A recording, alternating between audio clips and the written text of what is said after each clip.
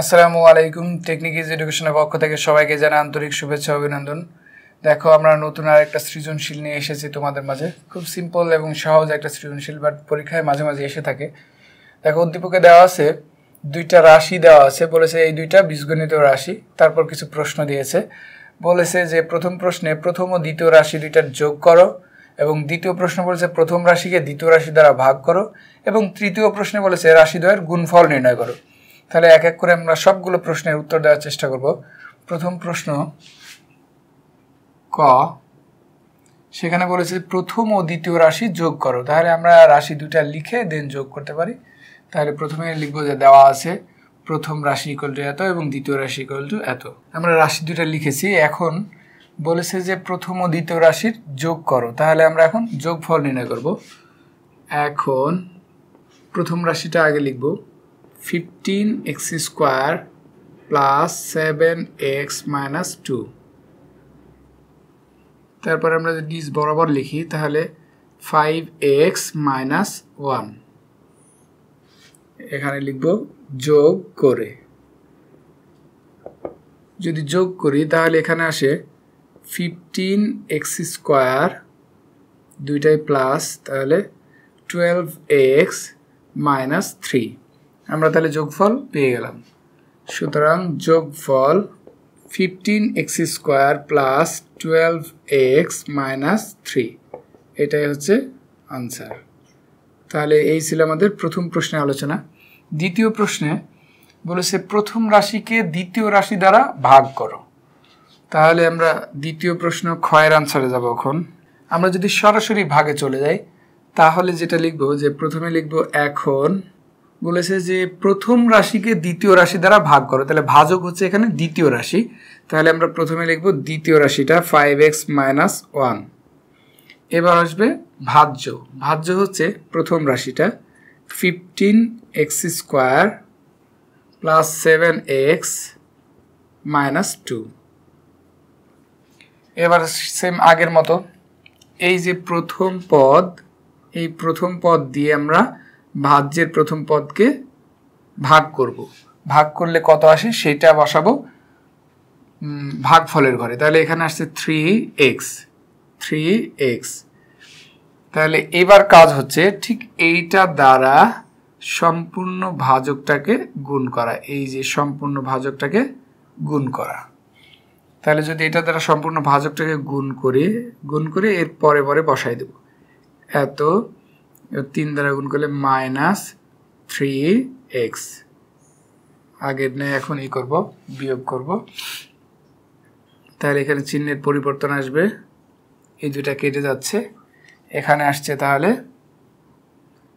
Ten x minus two আবার এইটা দ্বারা সেম আগের মতোই যদি ভাগ করি, তাহলে আসে টু তাহলে এখানে প্লাস টু ঠিক এই দুই দিয়ে, অর্থাৎ এই টু দিয়ে আবার কি করব? সম্পূর্ণ ভাজকটাকে গুণ করে এর নিচ বরাবর বসিয়ে দেব। তাহলে দেখো, দুই দ্বারা যদি আমরা গুণ করি, এখানে আসে টেন এক্স দুই দ্বারা ওয়ানকে গুণ করলে মাইনাস ওয়ানকে গুণ করলে টু এই হচ্ছে ভাগের নেই দাগ, এই হচ্ছে চিহ্নের পরিবর্তন দেখো এবার এটার মান আসে জিরো এবং এটার মানও আসে জিরো। তার মানে ভাগ শেষ আর থাকছে না। ভাগ শেষ পেয়ে গেলাম শূন্য। তার মানে আমার ফলাফল পেয়ে গেছি আমরা। কাঙ্ক্ষিত ফলাফল পেয়ে গেছি, সুতরাং লিখতে পারি নির্ণেয় ভাগফল থ্রি এক্স প্লাস টু। আরেকবার খুব সহজে একটু বুঝে নাও। আমরা দ্বিতীয় রাশিটাকে ভাজক বানিয়েছি এবং প্রথম রাশিটাকে ভাজ্য বানিয়েছি। কারণ প্রশ্নে সেভাবে বলেছে প্রথম রাশির, অর্থাৎ এই যে দ্বিতীয় রাশিটা প্রথমে বসছে, অর্থাৎ এটা হচ্ছে কি ভাজক। ভাজকের প্রথম পদ দিয়ে ভাজ্যের প্রথম পদকে ভাগ করব। ভাগ করে যে ফলাফল পাবো সেটা বসাবো হচ্ছে ভাগ ফলের ঘরে। দেন এটা দিয়ে সম্পূর্ণ ভাজকটাকে গুণ করে এই ভাজ্যের নিচে বরাবর বসাতে থাকব। দেন বিয়োগ করে, বিয়োগ করার সময় চিহ্নের পরিবর্তন হবে, যেটা আসবে সেই অবশিষ্টটাকে আবার কি করব? প্রথম পদ দিয়ে প্রথম পদকে ভাগ করব। ভাগ করে যে ফলাফল আসবে, সেটা আবার বসবে ভাগ ফলে দেন ওইটা দিয়ে আবার সেম ভাজককে গুণ হবে। সম্পূর্ণ ভাজকটাকে গুণ করে নিচে বরাবর বসিয়ে দেবো। তাহলে আমরা এটা আনসার পেয়ে গেলাম থ্রি এক্স প্লাস টু এই ছিল আমার দ্বিতীয় প্রশ্নের আলোচনা। এখন তাহলে আমরা তৃতীয় প্রশ্নের আলোচনা যাব। তৃতীয় প্রশ্ন গ। এখানে বলেছে রাশিদ্বয়ের গুণফল নির্ণয় করো। তাহলে রাশি দুটো আমরা প্রথমে উঠিয়েছি, প্রথম প্রথম প্রশ্ন ছিল। তাহলে সরাসরি আমরা লিখতে পারি যে রাশি দ্বয়ের গুণফল সমান সমান। রাশি দ্বয়ের গুণফল তাহলে আসছে এখানে। প্রথম রাশি হচ্ছে fifteen x square plus seven x minus two into five x minus one এই হচ্ছে দুইটা রাশি। এখন যদি এই দুটাকে আমরা গুণ করি, আবার মাইনাস ওয়ান দিয়ে সম্পূর্ণ রাশিটাকে গুণ করব।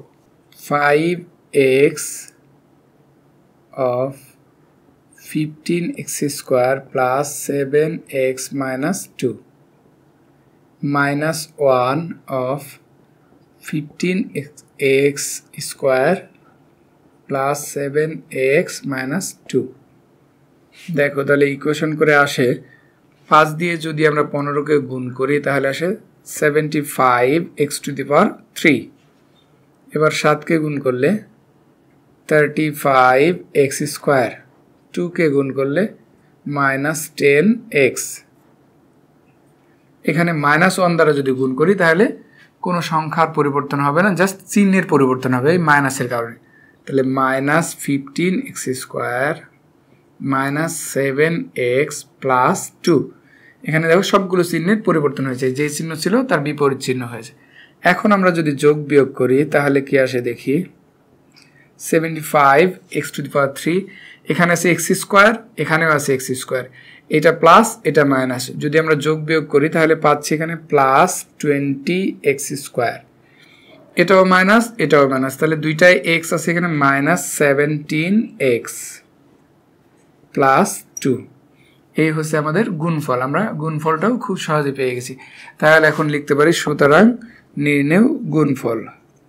Seventy five x to the power three plus twenty x square minus seventeen x plus two এই হচ্ছে আনসার এই ছিল আমাদের তৃতীয় প্রশ্নের উত্তর বা তৃতীয় প্রশ্নের আলোচনা আমাদের তিনটা কোশ্চেনই খুব সহজ সিম্পল একটা কোশ্চেন দেয়া বাট এ অনেক সময় পরীক্ষায় এসে থাকে, তাই তোমরা খুব ভালোভাবে প্রিপারেশন নেবে এটা।